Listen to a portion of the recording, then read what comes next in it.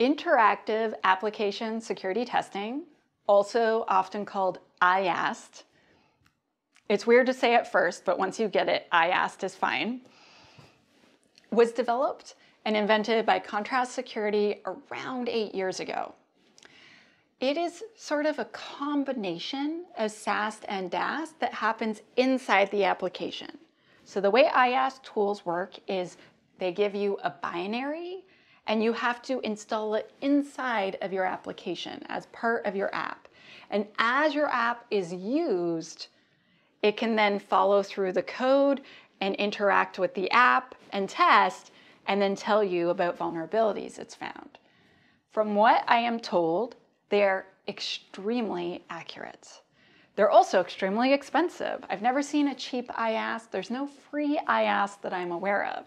However, the results are, from what I hear, pretty darn good, which is exciting. IAST tools, because it is a part of your application, do cause a bit of latency. And they only work if the app is being used. So if you put it into the app and the app sits there on the dev server, and then let's say, you know, I run one or two little tests myself manually, and then that's it, that's not a good test for the IAST tool. You're gonna find nothing. So I would advise if you are going to use an IAST tool that you install it on a QA server for sure and have a penetration test done while you have your IAST running do all the QA tests, do every single type of test you're gonna do, do your user acceptance testing on it. All of that. That will give the IAST tool lots of opportunity to find tons of vulnerabilities. If you're gonna give training to a ton of people, run the IAST at the same time. Yeah. For running it in production, the companies will tell you like, yeah, the latency is totally not noticeable, you should totally use it. But it really depends. So if you work at an organization and you know you have a tool that does super special science stuff, but only 50 people do it, if you only have 50 regular users, maybe that tiny amount of latency doesn't matter to you. However, if let's say you run an online store like AliExpress or eBay or something like that, every tiny bit of latency really, really, really matters. And an IAST tool is really just not advised for that.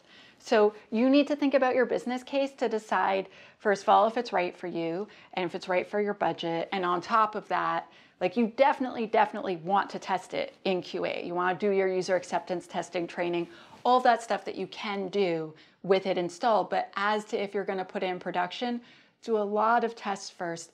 Do stress tests, performance tests, and user acceptance testing at the same time to make sure it's acceptable before you release it into prod.